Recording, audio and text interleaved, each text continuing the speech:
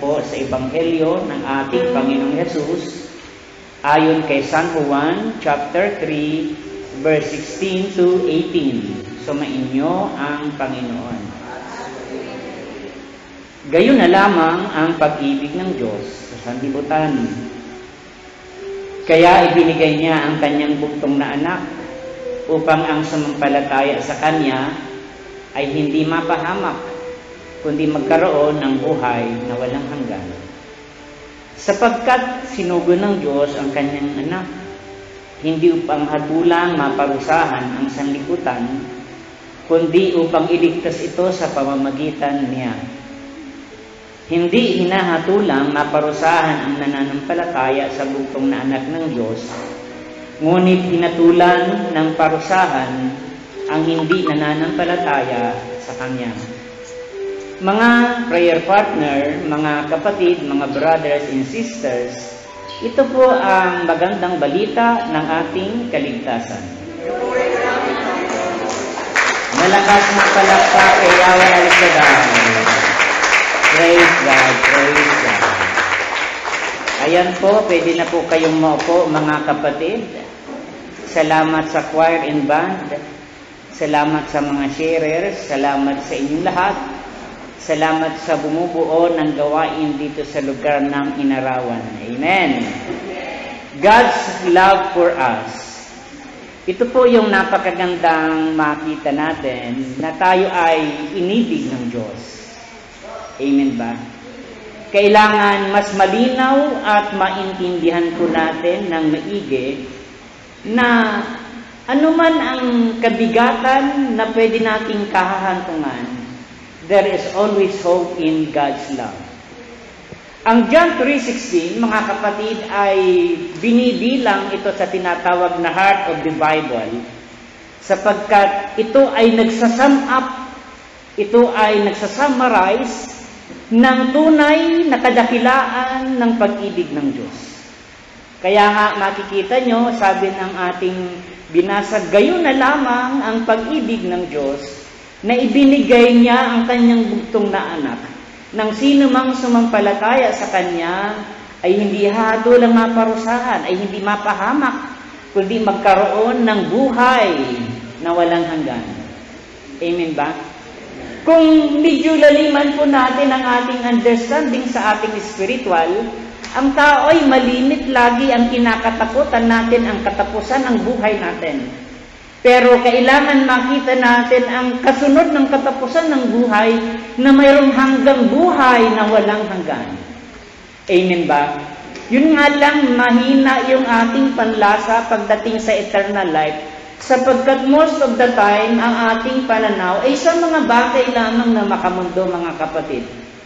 Kaya nga napakahalaga na maintindihan natin na mas klaro, malinaw, na gayon na lamang ang kadakila ang pag-ibig ng Diyos sa buhay natin. Sapagkat sa mundong ito ay kung titingnan po natin yung pag-ibig ng tao ay napakalimitado mga kapatid. Napaka-broad or napakalawak ng tunay o kaulugan ng pag-ibig ng tao. Pero salamat sa Panginoon sapagkat mayroong pag-ibig na iniaalok sa mga taong nakaranas ng rejection, ng kabiguan, ng failures. Kapag tayo ay umabot sa level na maintindihan at maranasan natin yung pag-ibig ng Diyos, walang taong nabibigo. There is no such bitterness Walang tinatawag na man-hater or woman-hater. May mga tao kapag nakaranas na ng kabiguan sa kanyang kapwa, sasabihin niya hindi na po iibig muli sapagkat pare-parehas lang kayong mga lalaki. Amen ba? Nagkakaroon tayo ng period sa ating pananaw and we become woman-hater or man-hater mga kapatid ko sa Panginoon. At nawawala ng pag-asa ang ating buhay kapag tayo ay nag-rely lamang sa pag-ibig na kayang ibigay ng ating kapwa. Amen ba? Ang nagtutulak sa pagiging mabuting tao kapag tayo ay busog na busog sa pag-ibig. Yung mga anak, yung mga bata pa, kapag sila'y busog ng pag-ibig ng magulang, napakagandang epekto sa kanila sapagkat mataas ang kanilang respeto at marunong silang gumalang, mga kapatid. Kapag ang anak, base po sa pag-aaral, ay nabusog ng pagmamahal sa tahanan, hindi siya nagiging angkan. Amen ba? Nagiging siyang mabuting tao sapagkat walang ibang lalabas sa kanyang pagkatao, yung pag-ibig na ipinuno sa kanyang pagkatao. Kahit nakikita nyo yung mga tao nasa palibot-libot lang na napabayaan ng magulang, aba, pag makiling mo sa inyo, dahil niya pa yung may patago sa iyo.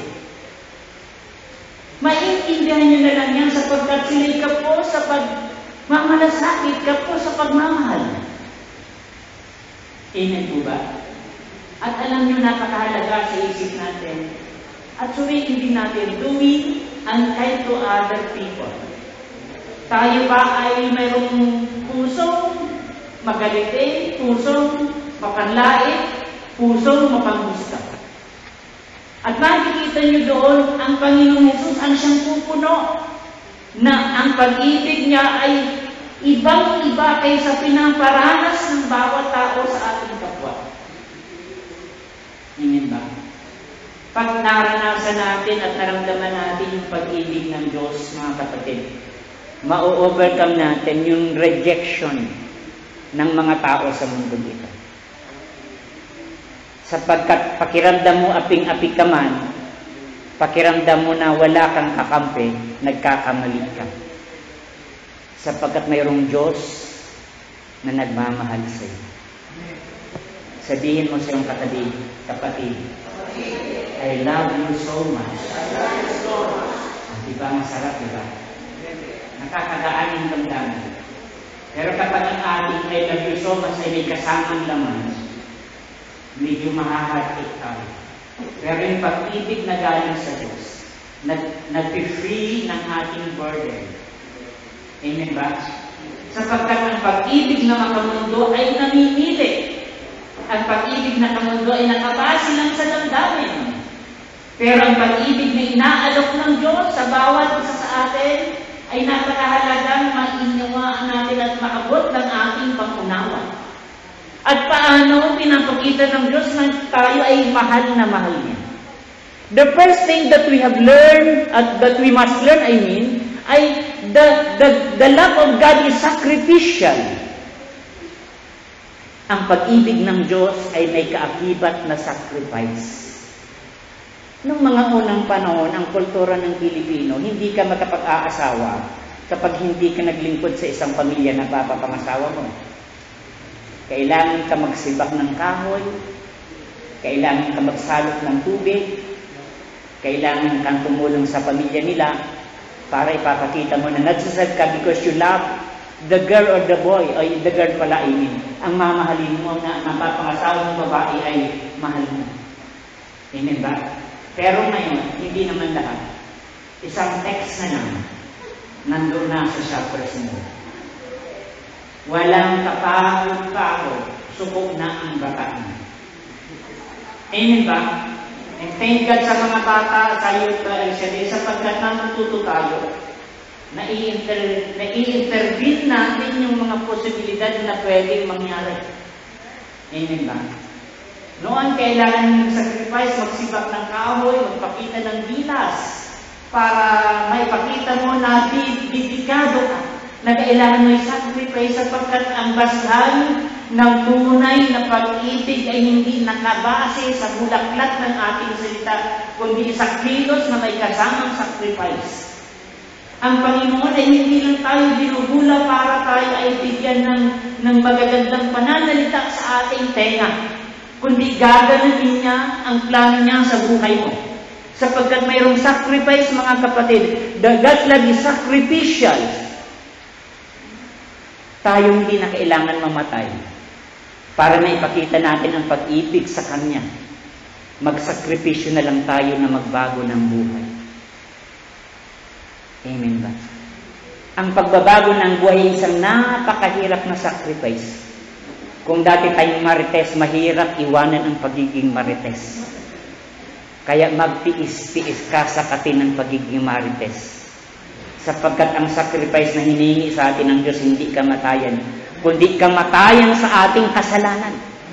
Amen ba?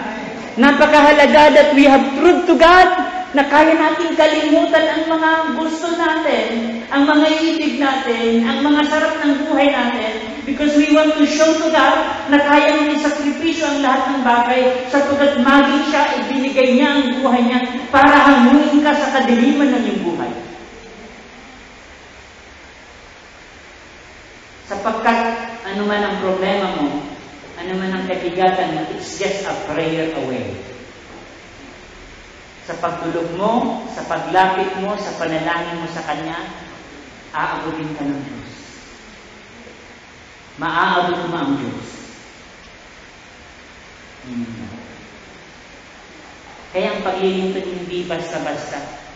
Kung i-claim mo ang pagiging son of God, daughters of God, aba may kaakibat yun na responsibilidad. Pag sinabi ng preacher, palakpakan mo ang Panginoon, pumapalakpak tayo, but it will not end there. Sapagkat magkaiba ang palakpakan ng Panginoon kaysa purihin ang Panginoon.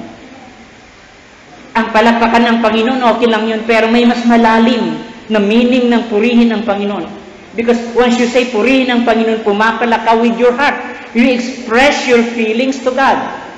Pinaparamdam mo na ang palakpak mo ay hindi lang para ikaw ay inutusan ng preacher. Pumapalakpak ka para ma-express mo sa Diyos na ang buhay mo'y binibigay mo sa Kanya. Sabihin mo sa iyong katabi, kapatid, palakpakan mo naman ang Diyos.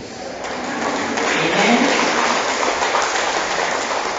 Mga kapatid ko sa Panginoon, napakahalaga na makita natin yung sacrifice ng Panginoon sa atin.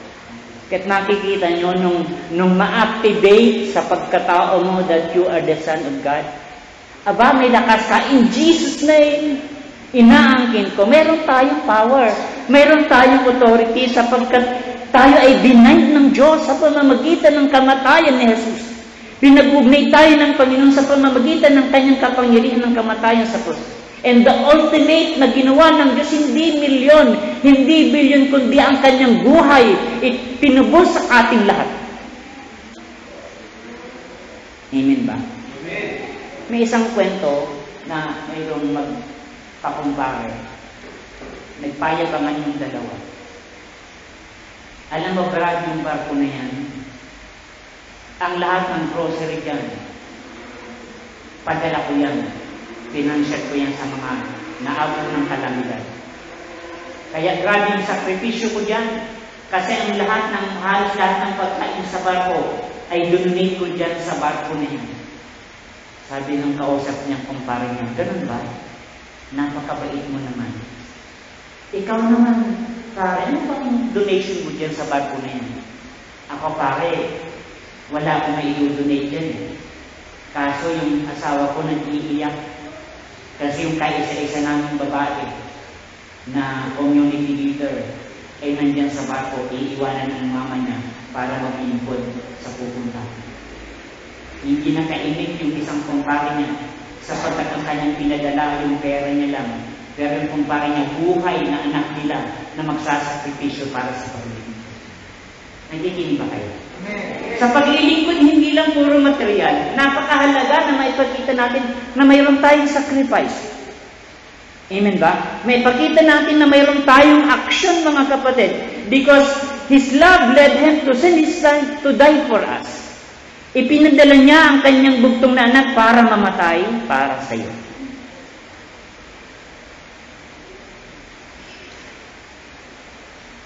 Yung mga magbarkada nagiinuman. Sige lang pare, inuman is kay is the limit. Huwag kang mag-alala. Sapagkat ano man ang mangyayari sa iyo, kaibigan, tutulungan ka namin. Nung magkabarilan na, aba, wasak-wasak ang kanilang takbuhan, hindi na nagkaintindi na. Nakikinig ba kayo? Sabi niyo, nung nasa inuman, ang daming barkada. Nung magkagulo na at may sakit, wala na kong kaibigan. Ganon ang tao. Pero ang Panginoon, after, and, until to the last of His life, mga kapatid. Amen ba? Kaya nga, napakahalaga sa buhay natin that we must also willing to sacrifice. At ang sacrifice niyo ay hindi magpapahirap sa atin, kundi may kasamang tamis, may kasamang pag-asa na lahat ng pagod mo ay magtutumbasan ng biyaya ng. Magpakabait ka, magkakasakit ka. Magpakasama ka, magkakasakit ka. Magpakabuti ka, magkakaproblema ka. Magka, pagpakasama ka, magkakaproblema ka. Pero ang kaibahan, pag nagpakabuti ka, kahit ang kagulo ka, may Diyos na natutuwa sa pagpapakabuti mo sa kanila. So God's love is inclusive mga kapatid. God's love is not only sacrificial, but God's love is inclusive. Sabihin mo inclusive. When we say inclusive, hindi siya exclusive. Ang pag-ibig niya, hindi lang para sa kumpleto ang pagkatao, ang kamay, ang paa. Pero ang pag-ibig ng Diyos ay para sa lahat. God's love is inclusive, mga kapatid. Ang kanyang pag-ibig ay walang pinipili at hindi nagtatanggi. Kay maputi, kay maitim, kay mataas, kay mababa, kay matangkad, kay kulot, kay unat. Ang tinitingnan ng Diyos, yung ating paglapit sa Kanya. Pero ang tao sobrang condemnation, sobra nating mapanghusga. Amen ba? Amen ba? Pero ang Panginoon, naparito siya hindi para sa mga mabubuti. Naparito siya sa mga taong nagsusumikap na maka-respond sa kanyang kalooban. This shows that His love is beyond. His love is beyond to any sin that we do for Him. We done for Him. Walang kasalanan na hindi kayang bayaran ng biyaya niya. Walang kalokohan na hindi niya kayang lampasan ng kanyang habag. Kaya huwag tapusin ang buhay mo na inaakala mo wala kang pag-asa. Sapagkat hindi kinukulang, hindi kinatapos ang pag-ibig ng Diyos. Lagi siya nandoon, nakikita nyo yung, yung ating doctrine of, of extreme unction. Buong buhay niya, nagpakasama siya, naging kasagurero, naging masamang tao. Nung sa bandang muli, dinipler niya sa kanyang pagkatao na tinatanggap niya sa Jesus, pinapatawad siya. Hindi ba? Kahit sa pinakadulo ng ating buhay, kaya niya kaya paranas ang pag-ibig niya. Pero ang tao hindi ganun eh. Okay na pinapatawad na kita, huwag ka nang magpakita ng mukha mo, baka mabaril kita. Amen ba? Mga kapatid ko, sa Panginoon hindi madali yun. Pero ang Panginoon ay, as what I have said, is inclusive. Naalala ko nung bata pa ako, ang masakit na pananalita sa akin, yung sinasabing salib pusa. Amen ba? Pag naglalaro, sabi ng mga kapatid ko, huwag ka na dyan, saling pusa ka lang. Pag sinabing saling pusa, walang pakialam sa'yo. Parang pusa ka lang. Kaya sabihin mo siyang katabi kapatid, sa pag-ibig ng Diyos, hindi ka saling pusa. Amen ba? Pag may usapang grupo, pag may nakita nila hindi nila kakategory, hindi nila kalibet, baliwala sa kanila. Sa simbahan natin, sa mga babies ng mga magagana babies, pag pumasok ka hindi maganda ang natin mo, aba, titingnan ka mula baba hanggang taas. Parang sinasabi, bakit nandito ka? Maging sa prayer meeting, nahilig nating manghusga, hindi mo man aminin. Ang utak natin ay punong-puno ng panghuhusga. Maniwala po kayo sa akin. Kaya kung minsan may mga tao mahina lang ang loob, dinadaig-daig natin. Nawawala yung respect natin sapagkat mababa ang kanyang pagkatao. Pero ang Diyos hindi ganun na tumingin sa'yo. Sa totoo lang, kapos na kapos tayo sa kabanalan, sino ba tayo para lumapit sa Kanya? Pero hindi ka makarinig sa Panginoon na hindi ka na pwede sa akin. Once na lumapit ka sa Kanya, humingi ka ng tawad, pasok ka agad. Amen ba? Sapagkat ang kanyang pag-ibig ay para sa lahat. Kaya mga taong sobrang loko-loko at sobrang abusado, pag sila'y nakaranas ng pag-ibig ng Diyos, napapahiya sila. Amen ba?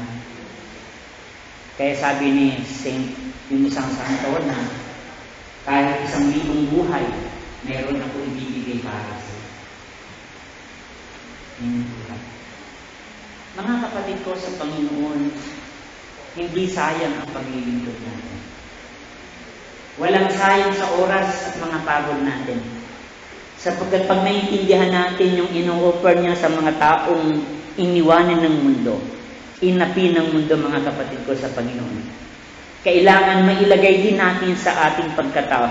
We should not judge or exclude other based on their, on their background. Hindi natin sila huhuskan sa kanilang nakaraan, sa kanilang pagkatao, sa kanilang estado sa buhay. Titingnan natin sila ayon din sa pananaw ng ating Panginoon. Amen po ba? Hindi man natin sila matulungan, hindi man natin sila maabutan, huwag na natin silang laitin. Huwag nyo na lang pakialaman, huwag mo na lang sirain. God's love is a choice. Ang pag-ibig ng Panginoon ay tayo ang magpipili. Sabi ng Panginoon, For God so loved the world that He gave His only begotten Son, that whoever believes in Him. Hindi ka naman pinarisa ng Diyos. Amen ba? Pero pag pinili mo, yung respond mo, ang pag-ibig mo sa Diyos ay magdidetermine ng kahahantungan mo. Sabi ko nga minsan, tayo napapahanap, hindi dahil pinurusahan tayo ng Diyos. Napapahanap tayo kasi tayo mismo ang tumatalon sa kumunoy ng kadiliman. Hindi naman nagpaparusa ang Diyos eh. Hindi naman siya nananakit. Pero ang kanyang ginagawa minsan ay bunga din ng ating mga ginagawa sa kanya. Pero tingnan nyo yung habag ng Panginoon, ang parusa mo ay hindi katumbas ng kasalanan mong ginawa. Kaya sino tayo para maghanap sa Kanya? Bagkat piliin natin, piliin natin lahat, magdesisyon tayo sa buhay na piliin ang Kanyang pag-ibig.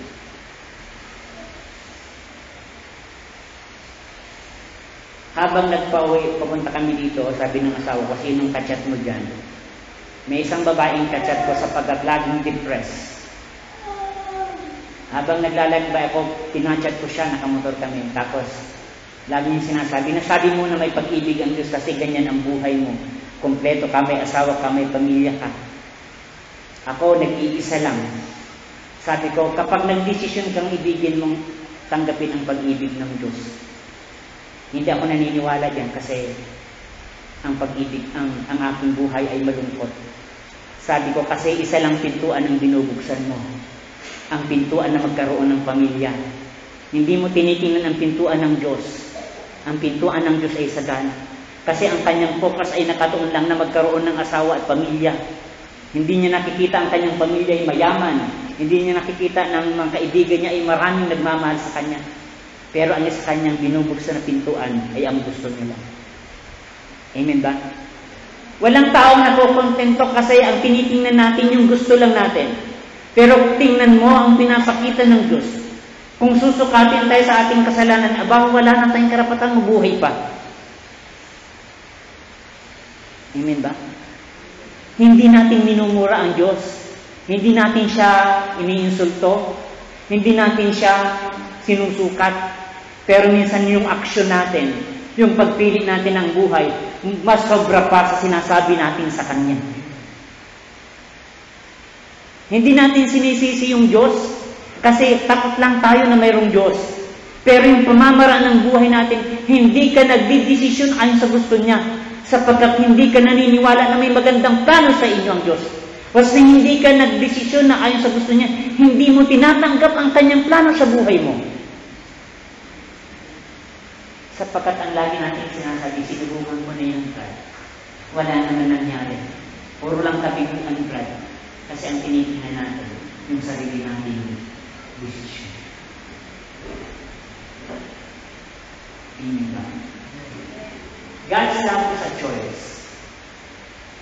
Tandaan nyo, binigyan tayo ng kalayaan ng Panginoon. Hindi niya tayo ginawang robot. Aba kung siya ang nakialam sa ating lahat, hindi ka pwedeng hindi mag-extradite. Hindi naman ganun, di ba? Mag-extradite ka, bahala ka sa buhay mo. Magsinungaling ka, bahala ka sa buhay mo. Magsumikap ka, bahala ka sa buhay mo. Pero ikaw ang gagawa ng buhay mo. Yung sabi ng Panginoon, napakaganda ng offer niyo. Bibigyan ko kayo ng, ng pagmamahal ng buhay na walang hanggan. Kung susunod ka sa Kanya, ikaw yung magpili, mag-decision ka. Magpili ka. Magpakatatag ka. Sapagkat may higit na mas magandang plano ang Diyos kaysa plano mo. Amen ba? We, we should choose to believe and follow Christ, not out of obligation, not out of fear, but out of, but out of gratitude. Maglilingkod ka sa Panginoon hindi dahil tinakot ka, hindi dahil inutusan ka, kundi dahil nagpapasalamat ka sapagkat sapat-sapat at sobra ang pagmamahal ng Diyos. Lagi kong sinasabi eh, kailan ka lang ba nag-El Shaddai? Di ba hindi pa tumatagal? Ang daming panahon ng ating kalokohan. Ang daming taon na inubos natin sa mga walang kabuluhan. Pero nakapaglingkod ka lang ng 20 taon, aba parang may utang pa sa iyo ang Diyos. Hindi mo nga ina-assume yung responsibility dun pinapagawa sa iyo. Minsan wala pa nga tayong ginagawa sa kanyang harapan. Wala pa nga tayong naaakay at minsan nakakapagtisod pa tayo. Tapos hahanapan natin ang Diyos. Ito yung lagi kong sinasabi. Bakit tayo maghahanap ng biyaya ng Diyos? That we are not worthy before Him. Parang mga Pilipino lang. Nung mag-a-abroad, walang pakialam. Nung mag-uwian, maghihinanagit kasi hindi binigyan ng chocolate. Sabi nung nag-abroad, bakit nung mag-abroad ako, nagtulong ka ba? Ngayon umuwi ako, naghahanap ka sa akin, ano? Nakukuha niyo ba yon? Ang Diyos, mga kapatid ko, sa Panginoon, pinabayaan kang magdesisyon sa buhay mo. Kung gusto kang magpakasarap, di magpakasarap ka. Kagaya ng prodigal sa napag-isip-isip niya na walang kwenta ang pinili niyang buhay kaya nagbalik siya sa kanyang ama. Sapagkat doon higit ang mahalagang bagay at buhay at plano ng Diyos na pwedeng ibigay sa kanya. Huling-huli na nga tayo naglingkod. Adilantado pa tayo. Hindi naman adilantado na parang matapang tayo, pero sabi ko nga, parang na-discourage pa tayo na walang Diyos. And we must be grateful sa buhay mo. Makita lang ng Diyos na kahit anong sitwasyon mo sa buhay, you are grateful sapagkat alam mo at napapatunayan mo na ninyo siya lagi sa buhay mo. And after all, uulitin ko tayo naman ang gumawa ng ating mga kalokohan. Amen ba? Pero nandiyan lagi yung nasusustain ng Panginoon sa ating lahat. Nasusustain niya yung mga kakulangan natin. Alam niyo si St. Augustine, sobrang talino niya eh. Sinubukan niyang aralin ang Diyos pero upos siya eh. Kulang ang kanyang utak. Kulang ang kanyang dunong.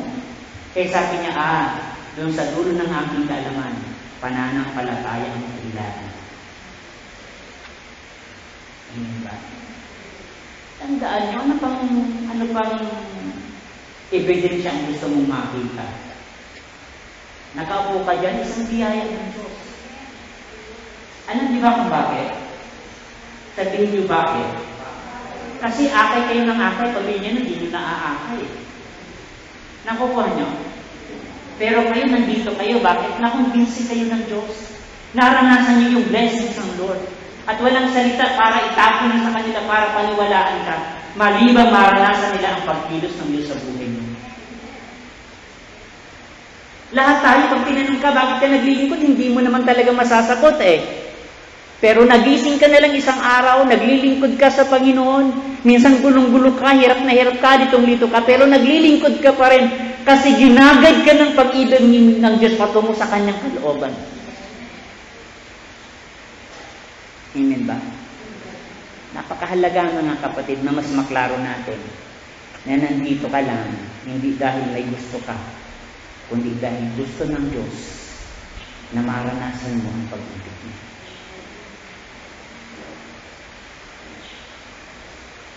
Amen ba? Maraming taong nabigo, maraming taong naghirap. The ultimate solution is to draw near to God. Pero never kang makakarinig ng panunumbat. Amen. Pero sa tao, ba't dumating ka pa? Pero sa Diyos hindi ganun. Salamat at dumating ka. Salamat at lumapit ka sa trono ng Diyos. Amen ba? Iba't iba yung ating pagkatao, iba't iba yung ating choices. But as we reflect God's love, mga kapatid, pinapakita na handa nating arukin ang kanyang gusto sa buhay natin. Handa nating alamin ang kanyang kalooban sa ating buhay. Patungo sa kanyang ibig, patungo sa kanyang pinakamaster plan ng buhay. Sabihin mo siyang katabi kapatid, kung nagmamahal ka, wala pa yan sa pagmamahal diya Yesu. Kaya, tumayo na tayo.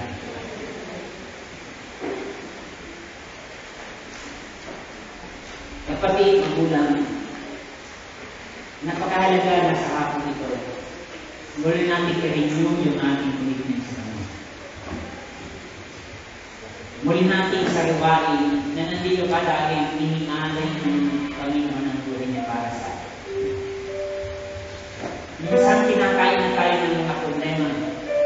Minsan kinakain na tayo ng mga kahirapan, mga rejection, mga failure sa buhay. Pero pag tinignan mo yung pag-ibig ng Diyos, gaano ang hirap na dinaanan mo, gaano kulang na kulang yan sa kamatayan in-over ng Diyos sa atin. Nagtatagumpay ka sa problema dahil may lakas ka. Nagtatagumpay ka sa mga suliranin dahil may pag-ibig ng Diyos. Nagtatagumpay ka sa mga kabuluhan, away sa ating pamilya, mga competition sa ating mga kaibigan, mga ating request sa buhay na hinatutupad. Minsan parang walang senta ang buhay natin. Pero bakit pa magpapakamatay, bakit pa kailangan mamatay ang Panginoon para sa atin? Bakit kailangan niya i-alay ang kanyang buhay?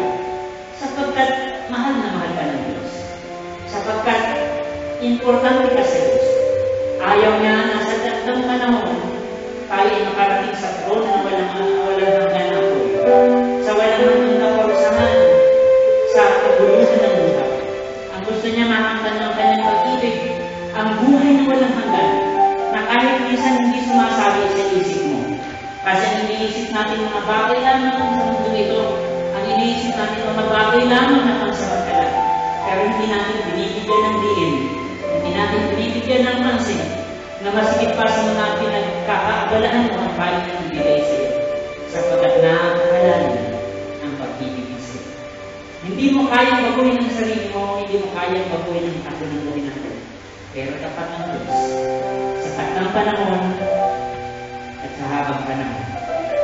Tingnan mo ang awitin, ang sabi ng Diyos, lumapit ka sa Kanya, kung mayroon tayong magkakulang, humingi tayo ng tawad, at pasalamatan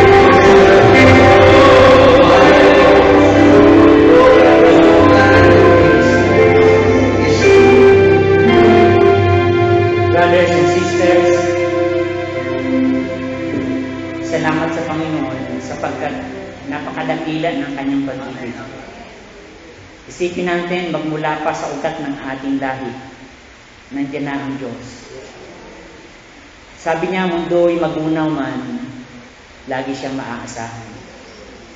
Sapagkat walang katumbas, ang kanyang katapatan ay panghabang panahon. At ang napakaganda, sa kabila ng ating pagkukulang, sagana ang biyaya ng Diyos. Kung ang biyaya natin ay katumbas ng ating kabanalan, wala tayong karapatan na mabuhay ng masaya. Pero tingnan natin, sa bawat araw, binibigyan ka ng chance ng Diyos.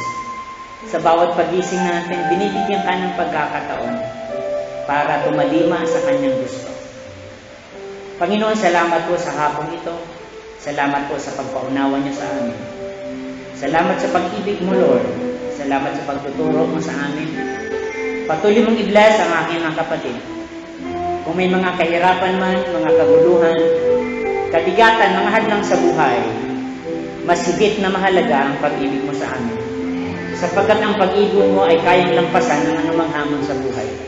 I-bless mo, Lord, ang aming buhay, ang aming spiritual, physical na pagkatao.